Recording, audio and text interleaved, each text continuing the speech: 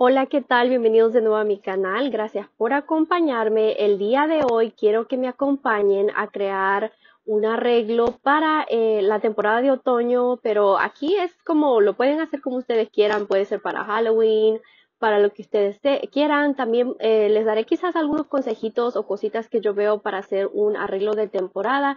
Así que si me quieres acompañar, quédate y hay que empezar. Yo usualmente no soy de hacer arreglos para temporadas como y no día de San Valentín, Navidad, cositas así. Creo que lo único que hice fue un una corona, un reef para el frente de mi puerta y, eso fue todo el año pasado. Pero ya tarde encontré unas formas de calabazas que estaban antes anaranjadas, yo las he pintado de color blanco, no perfecto porque ya estaba el bote en, lo último que da, así que no la pinté muy bien. Le hice hoyo, pero se me rajó un poco acá, así que tendré que usarla así. Ah, tengo algunas plantitas por acá eh, para este arreglo, en realidad no tengo ni un plan en sí, porque incluso, vean, acá le había robado a Toñito su, su calabaza esta que, que aquí la venden. Esta la compré en la Walmart el año pasado o antepasado, creo yo, por 99 centavos. Me pareció una bonita idea si lo querías hacer para Halloween este arreglo. Uh, podías utilizar algo así. Toñito me dijo, úsala, pero creo que no, porque no va en sí no va con lo que yo estoy haciendo. Tenía por acá esta maceta, o sí, maceta, ¿no? Que me pareció también que podría ah, poner algún arreglo uno acá, se vería muy bien. Creo por el momento voy a quedarme nada más con la forma de calabaza. Aquí tengo mi sustrato y tengo plantas. Este, aquí tengo algunas de unas Ioniums que me parece que para este tiempo de otoño le va a ir bien porque ya empiezan a, despertarse de su época de reposo. colores anaranjaditos así, vean. Me parece que va muy bien con el otoño, ya saben, unos amarillitos. Este por acá. También tenía este, que este es en el verano que se pone más, este, como más encendido el color, pero igual me pareció una muy bonita idea utilizarlo. Así que sí, básicamente voy a llenar esto de tierra y voy a ver cómo le hago. Como les digo, no soy experta. Y ahí le voy a ir echando la tierra. Creo que pues todas estas, estas macetas que tengo, estas plantas que tengo tienen su raíz. Vean, ahí ya las terminé de rellenar casi toda porque todavía me falta con lo que son las raíces, se va a rellenar acá. Saben, también aquí mire haciendo uh, un arreglo de calabaza hace como dos días. Es a Emily del canal uh, The Succulent Greenhouse. Ella hace videos, creo que es igual que yo, como que a veces hace, a veces no, pero yo ella la miraba desde que yo empecé a hacer este, bueno, no, desde antes que empezara a hacer este videos de jardinería, yo la miraba a ella porque me, relaja su voz, no sé, tiene una voz de esas que te relaja mucho. Pero bueno, ah, sí, pues les quería mencionar que ella también lo hizo porque siempre hay que dar crédito de alguna idea que uno mira. así que sí, eso al ver su video me recuerdo que yo tenía mi, forma de calabacita para hacerlo. Lo que voy a hacer, fíjense, voy a, quitarle la tierra, la mayor cantidad de tierra de las plantas y las voy a poner aquí. Les digo, yo hago las cosas quizás no como muchos lo harían. Ah, quizás algunos usarían nada más esquejes, algo otros eh, dijeran pues no le, no le quites la, mucha tierra. Pero sí, hay algo como tú quieras, lo puedes hacer con esquejes, con lo que se te haga más fácil, la verdad. Esta otra, si encuentro nombre se lo voy a dejar en pantalla porque la verdad que después de estar tanto tiempo sin hacer videos, se me han olvidado muchas cosas. Y les digo que varios este, me mandan mensajes de que pues, ¿por qué no hago videos? Y a veces me gustaría hacer más videos, pero al mismo tiempo es como que, no, si les contara, hoy quería hacer este video y les comento que desde como las 11 ya estaba lista, me había arreglado. Luego mi esposo llegó temprano a la casa, pues ahí me tienen, siguieron ayudándole, sirviéndole el almuerzo, a Toñito, ah, ahorita ya son como las cuatro quizás. Este hay que tener cuidado porque saca un poquito de leche, pero Es muy bonito para utilizarlo. Lo creo que lo voy a utilizar así como al centro, porque eso tienen que tener en cuenta en sus arreglos. El primer consejo que les voy a dar, bueno, ya saben, no soy experta, pero lo que yo siempre busco en los arreglos es, dependiendo dónde lo vayas a poner, digamos, esto yo lo voy a poner contra la pared. Ok, voy a trabajar desde lo más alto hasta lo más pequeño, ¿verdad? Entonces, esto siendo lo más alto, lo pondría atrás. Pero en, un caso donde, digamos, lo tenemos en un centro de mesa, lo vamos a poner exactamente al centro porque visualmente se va a ver bien de todos lados, ¿verdad? Y, igualmente, si está contra la pared, visualmente se va a ver mejor si lo ponemos aquí. Aunque, pues, y no, dependiendo como a ti te guste también. Aquí no hay una manera errónea de hacer las cosas.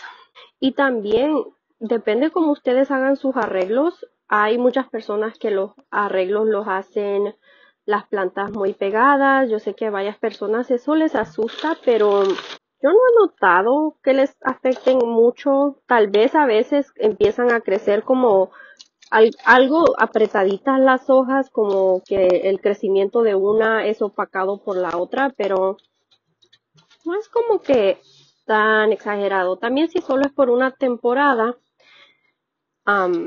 pues también no es como que vas a estar teniendo esa planta así por uh, años y años, ¿verdad? Ahí está, vean. Como les digo, este no sé dónde lo vaya a poner, tal vez lo ponga aquí en mi balcón, pero mi idea es que se vea bonito de todos los lados. Ahora voy a poner esta otra. Ahí está.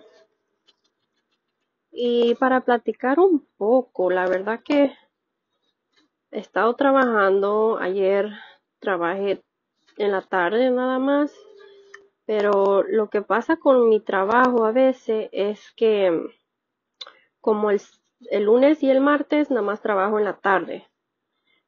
Y pues tengo la mañana libre, pero no es nunca una mañana libre porque tengo que ir a lavar, limpiar la casa, hacer mercado, o sea que no es como que, uy, no tengo el día libre para hacer lo que yo quiera. Así que por eso había estado tan, tan abandonado el canal, pero hasta eso que, no sé si habían dado cuenta, pero el canal ya llegó a 30 mil, 30 mil suscriptores. Así que muchas gracias por esos 30 mil suscriptores. Y seguido veo eh, mensajes de Orbelina, soy nueva en tu canal, así que si tú eres nuevo en mi canal o nuevo, bienvenido o bienvenida y gracias por estar aquí. Y los que han estado aquí por desde el principio, muchas gracias por tenerme tanta paciencia. Ok, vean, aquí así la llevo. Y otro consejo acá, tengan en cuenta también cómo crecen sus plantas. Como les digo, esta yo sé que crece arriba este tipo de plantas no se va a quedar compacto como decir una echeveria. Este tipo de plantas tienden a, mm, los sedum, graptosedum, tienden a, crecer altos y llega a un punto que está tan alto y se empiezan a caer y crecen así, ¿verdad? Así que sí, eso hay que tener en cuenta. Esta sí sé que se llama Echeveria mensa y vieran cómo me ha costado con esta planta porque tengo a la mamá grande, pues, y lo que pasa con esta es que, no sé, le da mucha, mucha plaga. Y más es porque entre sus hojas es, es tan difícil limpiarla o revisarla por plaga. Y ahora, ah, miren, tengo mis brochas a mí. Un palito, un palito que tengan. Yo siempre tengo brochitas ahí que uso para para limpiar las, las hojas de las suculentas, así que siempre me, me sirven aquí en arreglos. Y aquí también, en realidad, les digo, cuando uno quiere hacer algo, no importa, aunque uno no sepa hacerlo, uno trata. Puede hacer un plantas, poner nomás las plantas juntitas y ver cómo lo, le queda y comprar cositas en la tienda del dólar, en la Walmart, como decoraciones pues de la temporada y uno ya dice, ok, pues ya es de Halloween, ya es de día de San Valentín o lo que sea. Ahí está, ¿saben qué? No me convence mucho esa planta ahí porque la veo muy bajita. No sé. Tengo esta otra, pero... Ay, Algo le rompió ahí. Sí, como que no me convence ahí esta planta. Mejor voy a poner a esta. Pero esta no voy a estar ahí lidiando con todas las raíces así. La jale un poquito. Y sí, ahí está. Sí, vean, creo que sí voy a utilizar plantas que están altitas así. Porque así siento que se ve más, más bien, no sé. Pero bueno. Aquí Vean, si ven, ahí siento que se ve mejor. Miren, ya salí al jardín a ver qué encontraba y eso es lo bueno de tener sus plantas ya grandes y uno puede salir a cortar. Vean, ¿se recuerdan de las plantas que, que había traído, que las habían puesto a la orilla de la calle? Este, estas es una de ellas, es una planta arbusto de elefante, portulacaria afra. Fíjense que con estas es bien y mal trabajar con ellas como esquejes. Bien, porque son como de tallo fuerte, te las puedes poner bien fácil. Y mal, porque a veces se deshidratan mucho, cuesta para que enraicen. No sé, es, como de esas plantas que me ha costado bastante enraizarlas. También tengo estas otras. Tipo de plantas así o como el arbolito de jade son muy buenas para rellenar, como que si sienten que tienen algunos huequitos, si lo quieren ver muy compacto, eso es perfecto. Estas para un efecto cascada. Siguiente tip o consejo para hacer arreglos de temporadas es escoger un color o ver qué color conviene más, ¿verdad? Como otoño son anaranjaditos, colores así, ¿verdad? Así que escoger plantitas que vayan con ese color la repetición también como de colores. Como ven, este es un color más encendido, aquí va un poquito más claro, pero en sí van como que en la misma categoría de colores. Hoy la tierra ni les mencioné, esta es una eh, mezcla para macetas, yo es lo que siempre utilizo para mi jardín y la compro por acá en una tienda como tipo ferretería pero cualquier tierra que ustedes quieran, si es un lugar donde va a haber mucha lluvia, consideren eso a la hora de poner su jardín o lo que sea. Ahora voy a poner esta Eonia. Voy a cortar el tallito. Y no se preocupen, estas yo tengo muchas, así que no es como que, oh my god, ¿para qué las estás cortando? Incluso, pues les digo, está, ahorita están en buena temporada, no es como cuando la otra, la otra vez que las corté estaba un poquito asustada que, que la había cortado, pero por el momento estas van a estar bien. Ahora tengo estos aquí y creo que no sé si me, me van a caber todos. Creo que sí, que tal vez si le hago un huequito así me va a caber bien. Vean, así más o menos va la base de la calabaza. Y así se ve bien, ¿verdad? No es como que, uy, ¿no? Pero para darle un toque extra, creo que nos se vería bien poner algunas de estas así colgando. Y para poner estas yo nada más utilizo el palito de este de la brochita y con mucho cuidado porque estas hojas nada más respiras y se le caen todas a esta a esta planta pero es muy bonita para poner así. Y le da también un toque extra como textura que no es tan si ven uno medio la agarra y ya se han caído todas. Ok déjame la voy a agarrar bien acá porque si no va a quedar toda pelona y un arreglo así podrían agarrarle unos seis meses de, tenerlo en el jardín. Más o menos, puede que les dure más o menos. Ahí va este. Otro toque para darle extra textura. Estos que van así paraditos. Y esto, como les digo, siempre van a crecer así. En forma vertical. Así que igual, ahí como puedan, lo van poniendo ahorita nomás termine de hacer esto, ¿saben lo que me toca ir? A la tienda, ya se está poniendo oscuro. Pero, you know, es la vida de señora que toca. ¿Saben qué? Siento que se perdió mucho el arreglo con esta rama. Mejor lo voy a quitar. Sí, siento que mejor así. Porque si le pongo esta como que se pierde más esto. Tal vez uno. Sí, tal vez ponerle uno, pero ya como que meterle tanta rama. Se pierde mucho lo que es el arreglo de, en sí. Ok, así está bien, ¿no? Ok, creo que así va a estar bien. Como les digo, ya eso es mucho, ya es colgarle hasta el molcajete al pobre arreglo. Ahora voy a limpiar aquí y les voy a mostrar cómo terminarlo. Ok, vean, más o menos limpié. Y fui a traer esto. Esto es musgo seco. Lo encontré en la Walmart el año pasado. Lo encuentran como Spanish moss. Ok, esto se utiliza para decorar, como terminar encima, lo puede poner uno encima de la tierra. También se puede ocupar como para hacer arreglos también, vean, más o menos así. Aquí lo voy a poner encima de la tierra para darle un toque extra. Usualmente se agarra como el puñito y con un palito o lo que puedan, como que uno lo va así metiendo entre las plantas. Eso que se queda colgando ahí extra. Y fíjense, estos lo pueden hacer si ustedes saben el riego de las plantas o cuando ustedes van a estar o cuando le toca este riego a este arreglo. Mejor no, porque a veces es más fácil nada más como que medio mirar la tierra y ustedes dicen, oh, ok, ahí está seca la tierra. Vean, así quedó este arreglo de calabacita.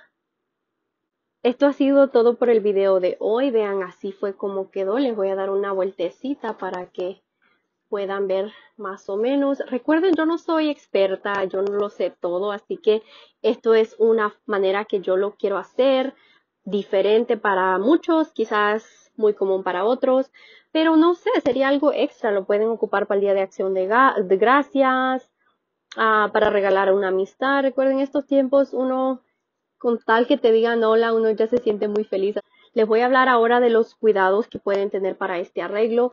Siendo suculentas, les recomiendo que les dé sol de la mañana, así que no solo porque es un arreglo de temporada, lo van a ir a poner a rincón más oscuro de la casa. No, no, no, porque lo que va a pasar ahí es que varias de las suculentas, si no es que todas, porque hay algunas que son más sensibles que otras, pero se van a empezar a estirar. Muchas gracias al señor que pasó ahí con su bicicleta, ¿verdad? Siempre hay interrupciones. Entonces, um, sí, ve, perdí mi train of thought. Ah, ya me acordé. Este, entonces sí, eh, se van a empezar a estirar si las ponen en, oscuro, así que no porque sea de temporada uno no les va a seguir cuidando estas plantitas, al contrario, va a seguir uno igual, porque cuando ya se termine esta temporada, digamos, ok, ya se acabó las calabazas, ya esto no queda con lo que es mi decoración, uno las desarma y puede plantarlas individuales o crear otro arreglo para, digamos, la siguiente temporada, no sé. Para el riego es, para mí es bastante simple porque como les digo, en, un arreglo así no te van a dar mucho crecimiento las plantas, así que el riego va a ser bastante mínimo porque incluso vean, hay muchas así, así que todas estas plantas van a estar compitiendo por la humedad de esta tierra. Así que yo lo que me gusta hacer es una vez a la semana, si está como un si lo tengo afuera, va, va, a ser una vez a la semana porque afuera pues hay un poquito más de aire, como que el solecito les va a pegar más pero si lo voy a tener adentro, no sé, quizás al lado de alguna ventana para que le dé un poquito de sol todavía, em, va a ser quizás cada dos semanas y para regar yo usualmente ocupo como una jeringa y le voy echando algunas tres jeringadas, digamos algunas jeringas así, tres jeringadas, porque no es como empapar todo el arreglo y que chorree todo, porque así riego yo todas mis plantas por la mayor parte hasta que chorreen. En arreglos así no, es humedad para que no se estresen y para que no se, no se, se arruguen o se ponga feo, o sea, son nada más para humectarlas, más no encharcarlas. Entonces espero que les haya gustado, que se animen a hacer algo así. No sé si esto es algo diferente para ti, animarte a hacerlo. Ah, muchas gracias por seguirme apoyando. Muchas gracias por 30 mil suscriptores. Y muchas gracias a todas las personas en Instagram que me dieron varias ideas muy buenas para el jardín y para videos siguientes. Así que quédense pendientes. Si les gustó el video, no olviden darle un me gusta. Si son nuevos, suscríbete al canal y los veo en el próximo video. Adiós.